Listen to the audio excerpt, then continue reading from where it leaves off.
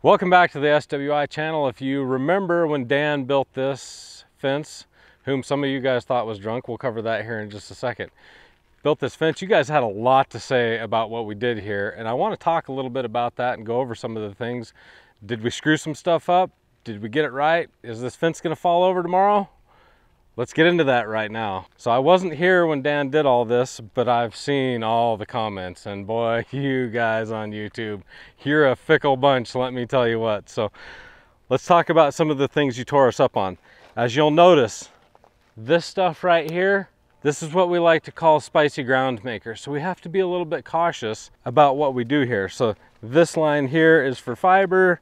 This is telephone communication. This is electric somewhere I think down there I saw gas. Anyhow, there's a lot going on right here in this area. So one of the things you guys had a lot of comments on is, how dare you call it a no dig fence and then you dug a hole? Well, right here, there's a conflict. We need to be very cautious about how we dig around this. Anyhow, we dug this one hole. Yes, we dug a hole. I apologize, we should have said mostly, even though there's like 60 posts on the job, this one hole plus the gate post, which we'll talk about in the front, were dug, and that was for safety. Now, the thing I find incredibly funny is some people are killing us for digging the one hole so that we could be safe, and other people are telling us how dangerous we were by pounding all those posts in the ground. So let's talk about that. We did get locates on everything. We knew where the utilities were. That's our responsibility as a contractor to call, at least 48 hours in advance and which we did and you can still see some of the marks. The white mark right here is where we told the locators where our fence was going to be going.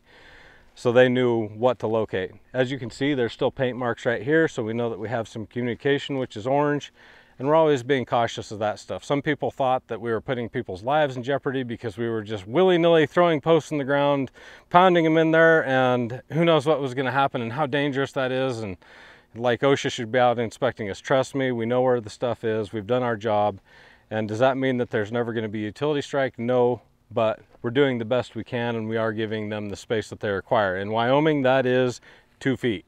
As long as we're two feet off of that utility, then we're good to pound or dig or whatever we need to do. But we have to maintain at least two feet off the center line to our to our excavation or in this case the pounding. So we gave them two feet and we have a locator ourselves, so if we have any worries that maybe their locates are off, we can actually double check that, and sometimes we will double check that so that we can pinpoint a little bit closer. The thing is, is we give them two feet, they're actually a lot more accurate than that as long as they take the time. Sometimes they get in a hurry and they're not very accurate, and that's when we usually have a strike is because they weren't very accurate with their locates. Even though we gave them two feet, it turns out their utility was further off. So we were very safe in all this. We knew that the utilities were, and we were never putting anybody's life in danger. Um, and it is no more dangerous to be pounding posts in this ground than it would be to be augering a hole. I am, I am a little bit shocked. That this fence has been up for probably two months now, and I'm honestly, I'm blown away. The thing is still somehow standing because I know some of you guys thought that that'd never work in our area. And guess what? Yep, still standing, still strong. And if you know anything about Wyoming, we do have just a smidge of wind here. The saying goes that that's because Nebraska sucks and Utah blows. I don't know if that's true or not. I probably just alienated a whole bunch of you people. I'm sorry. That's just the saying we have in Wyoming. Um, I can neither confirm nor deny that. But we do have a ton of wind and anybody that's driven down I-80 in southern Wyoming knows how much wind we have. So this thing will get tons of abuse. And as you can see, there is no trees, no houses, nothing this way. So all of our wind comes from the north and the west. Uh, that is the west, this is the north right here. So this thing will see a ton of wind just because there's no trees, no shelter, no other houses back here to help break that up. So uh, we do this all the time it'll be plenty strong. One of the things I will give you guys credit for is this was the first time we'd really fully tried this method. We'd kind of messed around with it and dabbled, but we we're not 100% proficient, what I would call proficient. We understood the technique, but not proficient.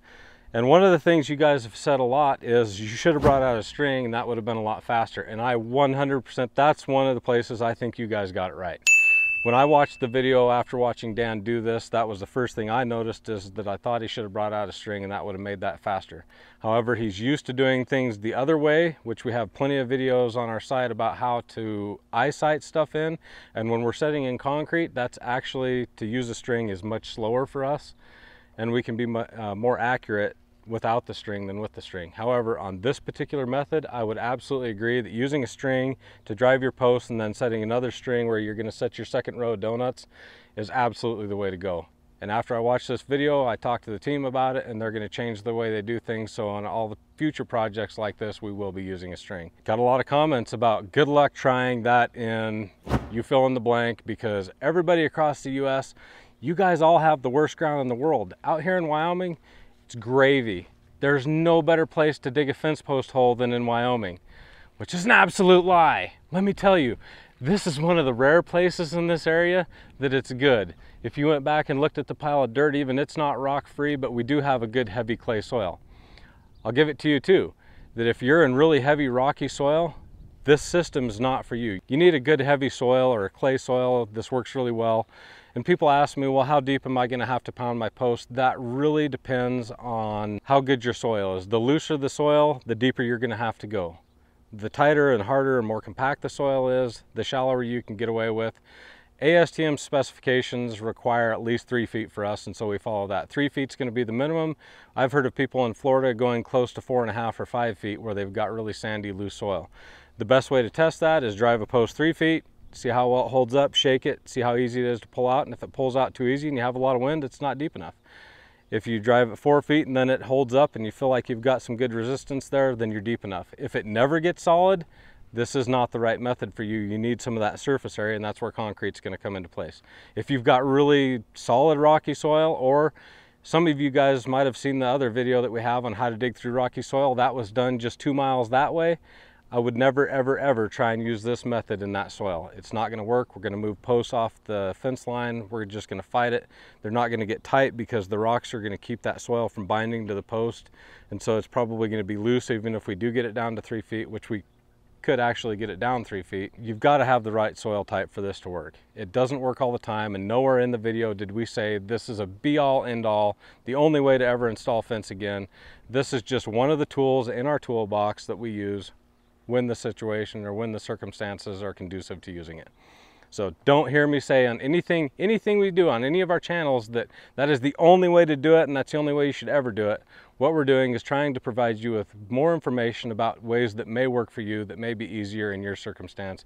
But that's up to you, the professional or the person watching this, to decide what's best for your area. One of the things we fought, because this gate actually is open to the north, it's gonna hit, have a lot of wind and we do double drive gates. So we ended up setting a sleeve. We need a void for that sleeve to go down in, and so they dug a hole to set that sleeve in, and that was the only other hole that they dug.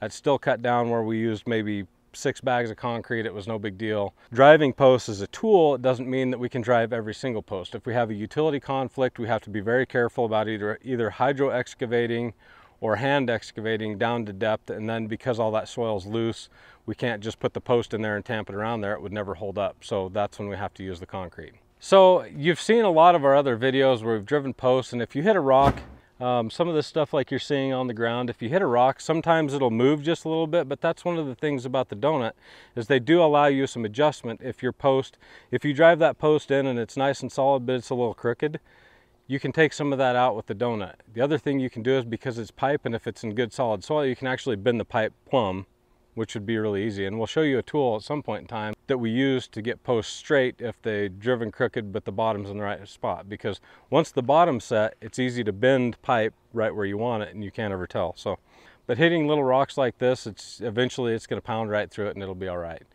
Um, like I said, the really heavy river rock soil, like we showed you in the how to dig in rocky soil video, this isn't gonna work. I would never try it. So some rock is okay, a lot of rock is not okay.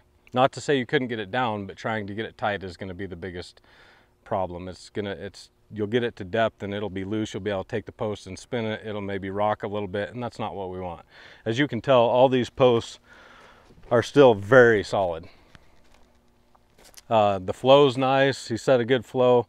I've got no concerns. Wow, what, you know, it'd be really nice if all that sun wasn't hitting us. That was another thing you guys said. That'll never hold up. I don't know if you guys were talking about this fence won't hold up to the sun. I think some people were trying to say that it'll never hold up to the sun, but in Wyoming, in the summertime, we get a crazy amount of sun. Our UV index is uh, pretty high, and we've got fences that are 20 years old. And have been using this vinyl. And as long as you're using a good product, there's no problems with the sun. The key is use a good product. The stuff that you're gonna find at the big box store is the lowest common denominator. It is not good product and they're doing that because it's cheap and people wanna see a low price. They know that, so they're selling you something super thin and that doesn't necessarily have the right resin blend to make sure that it can hold up to the sun and not fade or get brittle over time and those things. Obviously, one of the times that our fence is the most brittle would be in the wintertime when we have all the crazy winds. So if we were gonna bust fences and they blow apart, it happens usually in the winter when the windstorms come up and we get big blizzards. I don't think one of the things Dan talked about being a benefit, and I think there were some comments about durability, but we have steel inside there now. So if we ever needed to, let's say somebody comes along here and smashes a post with their riding lawnmower and it does get brittle and we do break some stuff, which will happen. People shuck rocks through them or whatever and we need to take it apart. If they break a post, that's the most expensive part of the entire fence, the most expensive part because then you got to pull all that concrete out. It takes the most time to replace and I've got a post that's a mess and it's just the most difficult thing to replace other than replacing a rail or a picket, which is very easy. If I've got to pull posts out, it gets expensive. With this system, the nice thing is, is I can go back and I can pull some screws out, pull everything out, slide a new post on, and I don't have to dig a new hole. I don't have to mix new concrete. I don't have to wait for the concrete to cure. There's nothing like that. The steel post underneath should still be in perfect shape. I just need to replace the facade on the outside, which is really easy when you have a driven post system. So that's a huge benefit when it comes to making repairs on your fence.